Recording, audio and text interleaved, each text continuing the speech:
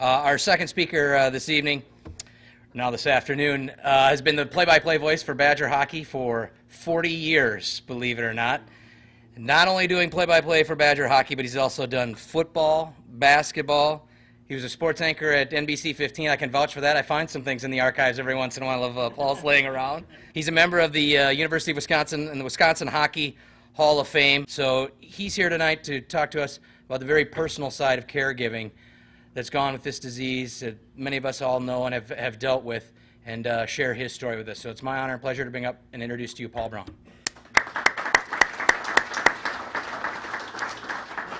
Thank you, sir. Thank you, Rob. Normally at a sporting event like this, I probably would keep the conversation light. Most importantly, keep it short and say thanks for coming. However, my role here is a little different today because I've been asked to talk about what it's like to be involved with someone who has Alzheimer's disease and explain how difficult it is to be a caregiver. I, need, I never really paid any attention to the disease. It did not affect me or anyone close to me. That all changed on March 2nd of 2007 when my wife Karen was diagnosed with dementia, she was only 59 years old. Now I pay a lot of attention to the disease, and what I've learned and experienced, very honestly, it's staggering. For example, if I were to ask you how many people in Wisconsin have the disease, would you say 5,000, 10,000, 25,000? Well, let me answer it this way. If we were going to have a one-day event for all of those people, we would need Lambeau Field in Green Bay and Miller Park in Milwaukee, and they both would be full. If we wanted to have the event in Madison, we would need Camp Randall Stadium, the Kohl Center, Alliant Energy Center, Monona Terrace, and LaBahn Arena. Those five buildings would hold the 112,000 people in Wisconsin that have Alzheimer's disease. More than 5 million people are living with it in this country now, and the projections are by the year 2050, 16 million people will have the disease. Now, if we were going to have a one-day event for those 16 million people, we could do it, but it'd be awfully difficult. We would need all 351 division basketball arenas in the United States. We would need the top 150 college football stadiums. We would need all 120 stadiums from the NFL, the NBA, the National Hockey League, and Major League Baseball. We would also need nine of the other largest stadiums in the world. That would give us 630 total facilities. They'd all be full, and we wouldn't quite be there yet. We would also need the facilities of the Kentucky Derby, the Daytona, and Indianapolis 500. But you know, metaphorically speaking, for those 16 million people, I don't think there'd be any Super Bowl rings, no celebrations of a World Series championship, and no checkered flags when they cross the finish line. For the people with Alzheimer's disease, the finish line is death. And if you're looking at the top 10 causes of death in this country, Alzheimer's disease is currently batting fourth in the most common cause of the death lineup. It's the only disease compared to heart disease, cancer, and stroke for which the mortality rate is steadily increasing. There's no effective treatment, no prevention strategy for this disease. Every 67 seconds, somewhere around the world, somebody is being diagnosed with Alzheimer's disease. Today, during this six hour event, it's conceivable that 300 more people have been diagnosed with Alzheimer's. About a half a million people die from it every year. Now, if you're going to have that kind of number, think about some of the issues and the problems that are going to come up.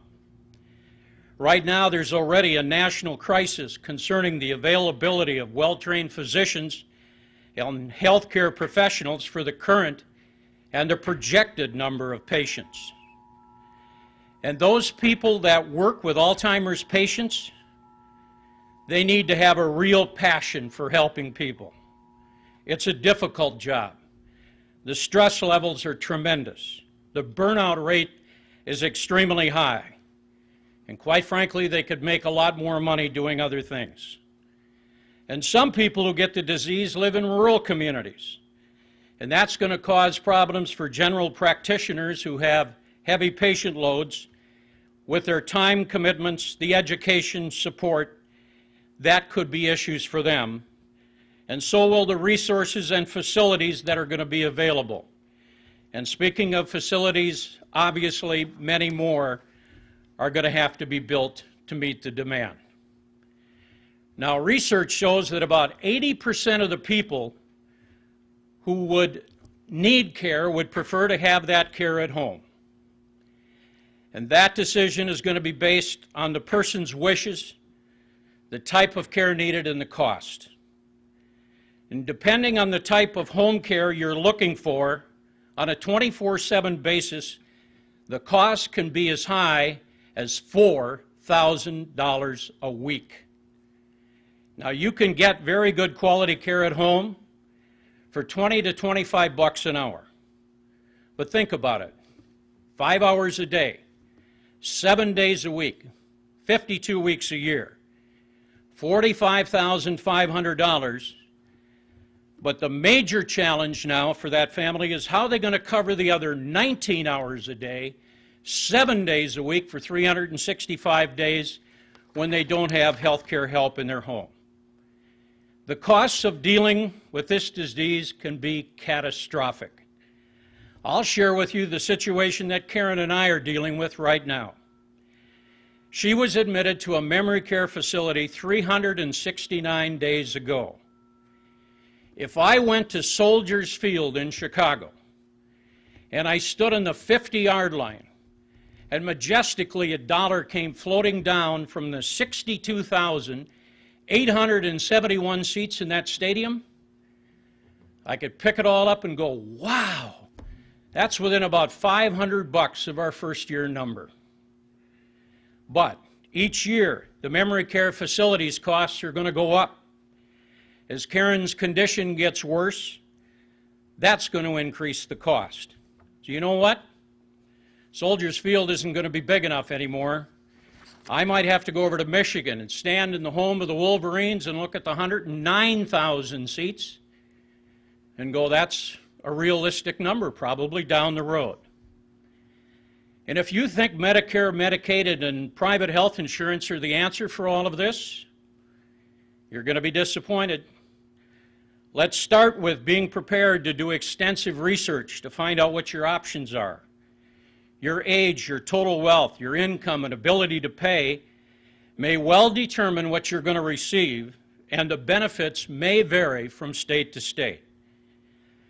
Medicare will pay up to 100 days of skilled nursing home care under limited circumstances. However, Custodial long term nursing home care is not covered. Medicaid comes into play when most of your assets are gone and you're close to being destitute. And when you're on Medicaid, the type of care you receive and the facilities where you can get that care could be somewhat limited. In fact, just recently, I had an owner of a home care business in this area tell me He's not even going to take Medicaid patients. The only way you can get some consistent help with payments on this is through long term care insurance. So the bottom line is it doesn't take a mathematical genius to realize these numbers just don't work. The system's going to go broke. Pat mentioned it already. The National Alzheimer's Association For next year, 2015, the projection is $202 billion. That's right, I said B for billion. One billion, by the way, is a millionaire a thousand times over. How's the average family going to be able to handle this on a year after year basis? There's no game plan that I know of that's going to win that battle with that gigantic problem. And right now, the best I can do is live in fantasy land and dream that Bill Gates, Warren Buffett, Larry Ellison, and Michael Bloomberg all decided to donate their entire estates for the good of the cause, we'd have our $202 billion for next year. I don't know where it would come from the year after that. And by the way, it's not just the patients who have expenses. You have caregivers dealing with care, worried about money, trying to live a somewhat normal life with a tremendous amount of stress and uncertainty. Guess what happens? Some of the caregivers get sick. And reportedly, another $9.3 billion are spent on caregiver costs. Earlier, when I mentioned all of those stadiums we would need to hold the Alzheimer's patients, none of those stadiums had caregivers or family in them. But I would suggest to you that if they were in the stands and they were holding up signs that expressed their feelings about how things are going, I don't think those signs would be saying, Go Badgers, go Brewers, go Packers. If I were in those signs, if I were in those stands and I was holding up some signs that express my feelings, the words would come from notes that I've written to myself about the journey Karen and I are on. My words on those signs would be anxiety, anger, depressed, stressed, exhausted, fear, lost, hopelessness, panic, sleeplessness, worry, despair, lonely, frustrated, failure, denial, guilt, and bewildered. When you are a caregiver, the person you are helping take care of may well be the most important person in your life. For me, it's my wife, Karen. For you, it might be somebody else. But it's probably somebody that you love very much. And that's what makes it almost unbearable to literally watch the changes right before your eyes. I'm a lucky man to have Karen in my life. She makes me happy. She's friendly, outgoing. She laughs a lot. She's loyal, compassionate, always willing to help others, trusting, caring, like a Pied Piper around young kids. She's very supportive. She's opinionated and she's stubborn and we'll talk stubborn in a couple of minutes. I've known her for 40 years, married to her for 36. Karen's still here, but the love of my life and my best friend is gone. When I say that, I mean recently I handed her a hairbrush, only to watch her use the backside of the brush to comb her hair. I don't know how you'd feel if this most important person in your life, the two of you were standing looking at a reflection in the mirror, and she saw a reflection of herself and she said, Who's that? One of the things that I really miss on a day to day basis is a normal conversation. I can't have that anymore.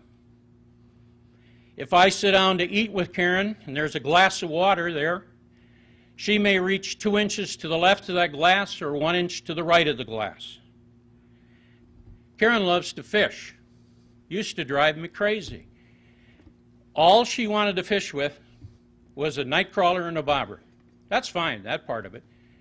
Except when she cast it out, she wouldn't let the bobber sit there, giving her an indication she had a bite. She'd continuously reel it in. Well, about three weeks ago, we tried to set it up for her to have a nice day. We took her fishing. It Took about five minutes to realize she didn't know how to hold the rod, she didn't know how to cast it, and she didn't know how to reel it in. And we've been very fortunate in our life to have some very good friends, Pete and Linda Rowe. We've been a lot of places with them. We've done a lot of wonderful things. I was talking to Karen about Pete and Linda. She said to me, Who are they? But as tough as those situations are to watch, some of the decisions that I and everybody else that's a caregiver have to make are almost incredible. For about six years, I tried to take care of her myself. Eventually, I realized, like most caregivers do, I can't do this anymore. It was affecting my job, my health, and it was having an impact on the quality of care that I could give Karen. And the point was really driven home to me by my doctor, who I'd been going to for about 25 years. Walked in one day and he looked at me and he said, I'm not exactly sure why you're here, but I know you're depressed. I know you're stressed. I know what you're living with. I know your age and I know your weight. What I don't know is many people walking around this planet who are dealing with all the issues you're dealing with. And he said, Oh, by the way, who's going to take care of Karen if something happens to you? And I can tell you that making the decision to move my wife to a memory care facility was the most difficult decision I've ever had to make. In Wisconsin, when a person goes to a memory care facility, they have to enter that facility on their own. Now, remember, I said Karen was stubborn and she was in denial about the disease. There was no way she was going to walk into that facility on her own. So, what did I do? I put together a fake radio advertising proposal that I was going to sell that facility. I asked three people to help me out. One morning, Karen and I are driving around in the car, and the first person calls me and says, You got to go make that presentation right now. So I drove over to the memory care facility. Got to the front door of the facility. The second person met us, and we walked through the facility, and we talked about what we were going to put in the radio ads. We literally walked into the memory care unit. The next 10 minutes in that unit were pure agony. The apprehension and the doubt was almost overwhelming. Every instinct within me wanted to grab her by the arm and say, We're out of here. Then the third person came up and said, We're ready for your presentation now. And that was my cue to what was the most painful decision of my life. I turned around and I walked out. About 48 hours later, there had been 10 incidents with the staff, two trips to the emergency room. Sunday night, I'm standing with my brother Daryl and his wife Jerry outside a local hospital. We're kind of looking at one another, going, What are we going to do? The hospital wouldn't admit her, and the memory care facility would only take her back if she had one on one care 24 7 until we got her to another hospital for evaluation. One of Karen's sisters, her name is Sally, her and I basically set up shop and kind of lived in a memory care facility for about a week. Sally came in during the day. I took afternoon, overnight, and early morning shift. And I don't know about you, but trying to sleep on a chair or lay on the floor with a couple of couch cushions really doesn't work that well. One night we even brought in a new air mattress. And I actually got about two, three hours of sleep. Only the next morning to hear this fluttering sound. And I looked down and the air is coming out of the air mattress and I saw a pen jammed into the air mattress. I guess I took that as my reward for putting her in that facility. Seven days later, we get the call she could be admitted to the other hospital. What do we have to do? We invent another totally phony plan to walk her into that hospital where she spent 14 days, three different medications. They finally had her calmed down and ready to move to another facility. When you visit someone in a memory care facility, you're going to see some dedicated employees who are trying to provide quality care in an atmosphere where the residents are involved, they're active, and they're safe. But if you look closer, you see blank stares, wandering, confusion, sadness, desperation to go home, very little life and energy. You're also going to hear nonsensical conversation and endless repetition of stories. But quite simply, that's the world that they pretty much live in. When I visit Karen, it's heart wrenching. I see the deterioration and the changes. When I leave, I see the panic, the confusion, and the fear. And it tears my guts out when she pleads with me not to go. And I feel like a total phony when I tell her another one of those damn white lies about why I'm leaving. But let me be perfectly clear about this. I'm not telling you this to feel sorry for poor Paul because the bottom line is my story is not a lot different from the thousands of stories that caregivers live with every day in this country and around the world. Being a caregiver is an extremely difficult thing to do. If you look up to take care of in the dictionary, it says to watch over, be responsible for. Those words are true but it doesn't begin to describe the challenges that a caregiver faces. In addition to the physical and the financial pressures I've already mentioned, there's the mental anguish and a roller coaster of emotions and moods. The responsibilities are enormous. You need to be flexible, unselfish, and have a ton of patience. You need to be very vigilant in watching the care your loved one is receiving. You become a helper, a planner, a decision maker. And caregivers have a life too. They have hopes and dreams and things they want to accomplish with their lives. But sometimes they even have to put those lives on hold. The bottom line is the disease takes a tremendous toll on both those people that are involved. Unless you've been a caregiver or are about to become one, there is no way for you to understand how difficult and devastating it can be. If you have a caregiver in your family, they need your help. They need your support. And when they're having a tough day, and trust me, they'll have tough days, cut them some slack. And if you're part of a family and you're not involved in the caregiving, you need to get in the game. For God's sakes, don't sit on the sidelines and let somebody else do the work. Forget about being a Monday morning quarterback who second guesses all the decisions that are made. And if you fumble away any opportunity to help out or offer some lame excuse about not coming to visit more often, shame on you. And if your logic for staying away is I want to remember them the way they were, or if it's a reminder of what could happen to me, my reaction to that one is, really? Are you serious? Shouldn't it be about them and not you? Maybe it's time for you to think about how important has this person been in your life? What do they mean to you? Have they always supported and helped you? Have they always been there for you? If the answer to any of those questions is yes, then where are you now?